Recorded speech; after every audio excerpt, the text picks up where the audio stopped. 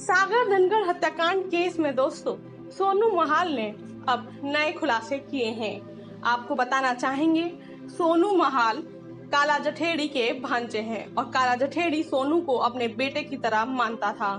और जब से सुशील कुमार ने छत्रसाल स्टेडियम में सोनू महाल की पिटाई की थी, तब से ही सुशील कुमार और काला जठेड़ी के बीच में दुश्मनी हो गई थी।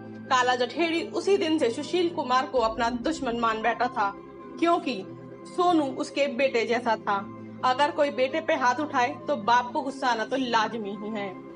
तो आज हम आपको बताएँगे कि सोनू महाल ने इस केस में क्या नया खुलासा किया। है सोनू से पूछा गया, क्या इस सब विवाद में यूक्रेन वाली महिला का कोई विवाद था? अजय और तुम्हारे बीच क्या विवाद था? इन सब बातों को लेकर सोनू से खुले तौर पर चर्चा की गई। सोनू ने बताया कि यूक्रेन वाली महिला को लेकर कोई विवाद नहीं था। सोनू ने बताया, इस केस में किसी भी महिला को लेकर कोई विवाद नहीं था, ना इस केस का किसी महिला से कोई संबंध था। बस हाँ कोच को लेकर बातचीत ज़रूर होती थी। सुशील कुमार को लग रहा था कि उसकी सत्ता खत्म हो रही है। धीरे धीरे जो उसकी शान है, शौकत है वो खत्म होती जा रही है। बाकी पहलवान उसका आदर करना कम कर रहे हैं। सुशील को बस अपनी सत्ता चाहिए थी।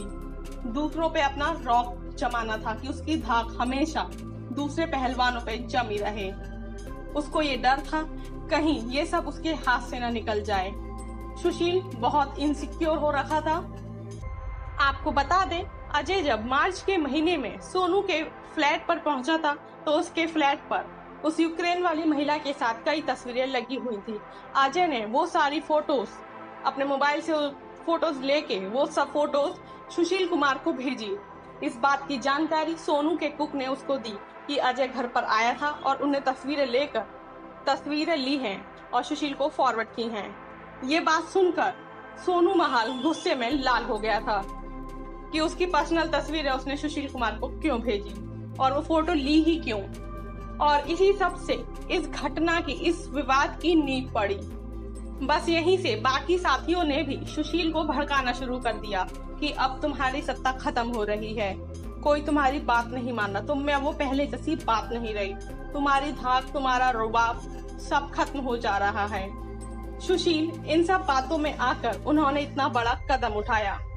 बता दें दोस्तों, सुशील का ये गुस्सा, उसका आक्रामक व्यवहार ये सब सुशील के सम्मान, देश के लिए उसने जो किया, पहलवानी में उसने जो नाम कमाया, ये सब चंद सेकंड में धूमिल हो गया। कहते हैं ना, एक गलती कभी कभी बहुत भारी पड़ जाती है।